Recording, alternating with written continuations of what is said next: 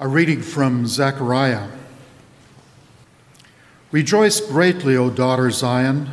Shout aloud, O daughter Jerusalem. Lo, your king comes to you, triumphant and victorious is he, humble and riding on a donkey, on a colt, the foal of a donkey. He will cut off the chariot from Ephraim and the war horse from Jerusalem and the battle bow shall be cut off, and he shall command peace to the nations. His dominion shall be from sea to sea, and from the river to the ends of the earth. As for you also, because of the blood of my covenant with you, I will set your prisoners free from the waterless pit. Return to your stronghold, O prisoners of hope. Today I declare that I will restore to you double. Word of God, word of life. Thanks be to God. The Holy Gospel according to Matthew. Glory to you, O Lord.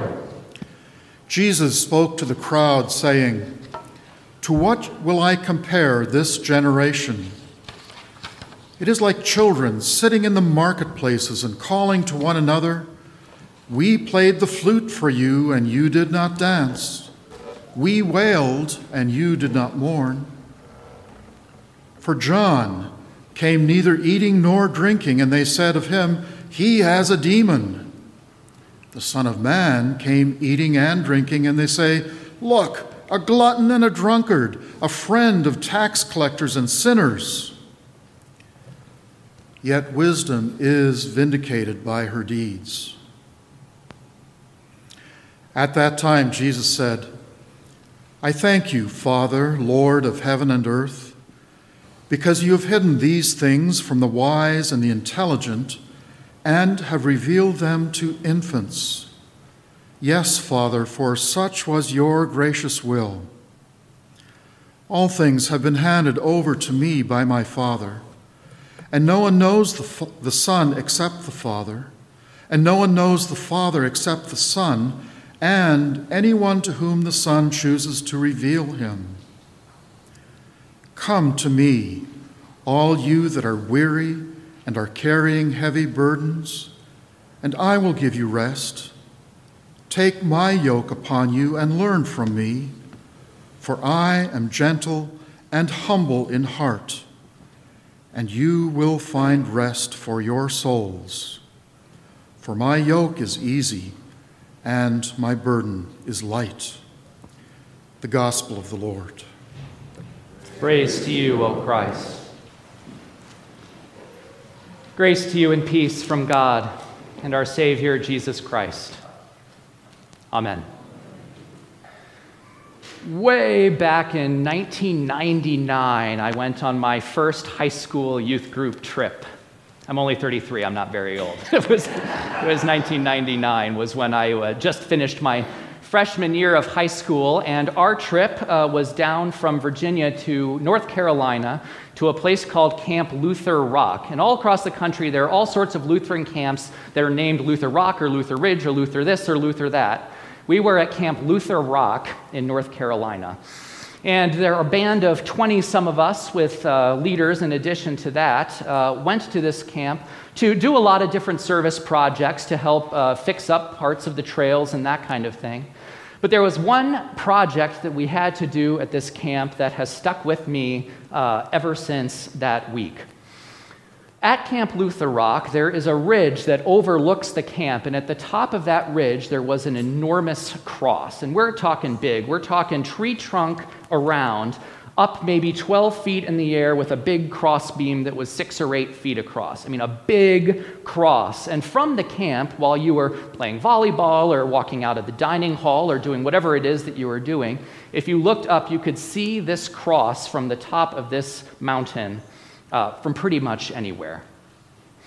Well, as it turned out, that, that that cross had been there for so long that it had become rotted. It had been there for years and years and years, and as the wind and as the rain and as all of the different critters had gotten into uh, that cross, it was time for it to be replaced. It had really taken a beating. And it was our job as the youth group of Resurrection Lutheran Church from Fredericksburg, Virginia, to change out the cross. This was no small feat because, as I mentioned before, the uh, upright beam was like 12 feet or more long, and the cross uh, beam was something like six or eight feet, and it was a huge, huge uh, diameter for this cross.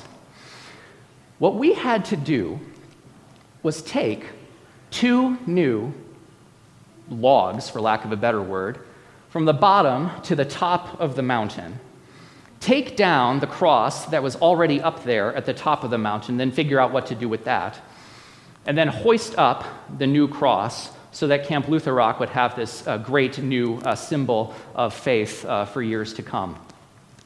So, what did it take? Well, it took about 15 or so of uh, we high schoolers on one uh, long crossbeam, and the other 10 of us on the other, with uh, adults kind of leading the way and helping us at times. And uh, you may think that we just ran up the mountain. You may think that we just grabbed that sucker and made our way as quickly as possible. exactly. We were not the most athletic of youth groups. Our, our youth group here at St. Stephen a few years ago had like the whole basketball team on it. We were not the basketball team youth group. We, we were a scrawny bunch. And so what it took was all of us, one, you know, lined up on one side holding the uh, log like this, and the same thing on the other side. And what we did was sort of sidestep up the mountain 10 steps at a time and then put it down. And rest and get a water break and then wipe the sweat from our brow and kind of look at the trees. And then pick it up again and 10 more steps back up the mountain over and over and over again for like five hours. We did get a lunch break. We did get water refills. Uh, some of the spryest among us would run back down the mountain and fill up water bottles and run the water bottles uh, back up to us. But it was quite a thing. And the first thing I thought of when I heard the gospel story for today was that experience of bringing this cross up the mountain. Because let me tell you, it was neither easy or light. It was not uh, an unburdensome thing to do. It took a lot of energy. It was exhausting. None of us moved that night. We all just sat there and ate our sort of sloppy joes and kind of dozed during the Bible study that sort of brought it all home and really made it meaningful for us. But we were, we were shot after that. We carried that cross up the mountain, we set it down. We didn't do the whole switch out in one day. The next day, we took the cross down. We all went back up the mountain. We took the old cross down. As it came falling down, it sort of shattered because it was so rotted. It's an experience that still is in my heart. I just got shivers again when I uh, told you about that because it was so meaningful. And then on that third day, again, we got ourselves together and hoisted that thing up to height and started pulling up the crossbar and got everything in place. Some of the camp people helped us get everything fastened in just the right way. And at the end of that exhausting process, the end of this journey that just took everything from us, we finally understood a little bit of why Jesus would say that his burden uh, is, his yoke is easy and his burden is light. Because it was amazing. In that instant, when we saw that cross lifted up again, all the memory of the pain of the whole operation went away. And I can still attest to this. I still don't actually remember in my muscles how heavy it was. I remember that I remember it being hard. I remember that it did take a lot of work. But the thing I remember mostly is the sense of awe at seeing the cross lifted up again. The sense of awe in seeing this old cross fall down and break into a million pieces, and this new cross take its place just days later, like it had always been there, like it had never needed to be switched out. And even though that journey was burdensome, even though it was painful, even though it was exhausting, even though it took everything out of us, at the end of the day, at the end of the week, at the end of the project, none of that mattered anymore because this cross was lifted up, this symbol was upright again. And we understood what all that work and all that effort was going toward. Jesus, I think, has a different view of what it is to be a part of this world than what we do. We might be tempted to experience this journey of the cross up a mountain as something that is utterly burdensome, utterly painful, utterly hard. But Jesus doesn't see the world like that. When Jesus talks about what it's like to bear the burden of the cross, when Jesus talks about what it, when it, he is talking about holding this yoke on his shoulders, he doesn't say that it's difficult. He doesn't say that it's hard, but he says that it's easy, even when all evidence is to the contrary. If you go into your mind for a moment and think about uh, some of the most meaningful moments of your life, some of the most difficult moments of your life, some of the hardest moments of your life, most burdensome, most heavy, I'm sure you can think immediately of a few things. Maybe you care for somebody that you love very much who's had a difficult uh, way with their health. It takes a lot of care from you, a lot of attention, a lot of love. Or maybe you are experiencing some sort of grief, some sort of loss that continues to feel like a burden, continues to weigh you down. Maybe there is an illness of your own that you are carrying along with you, or some healing that is very difficult to work through. And in each of those moments, there is no absence of pain or feeling down or maybe a little loneliness or sadness. It's natural, of course. You don't need to put on a happy face to be faithful in the midst of things that are difficult.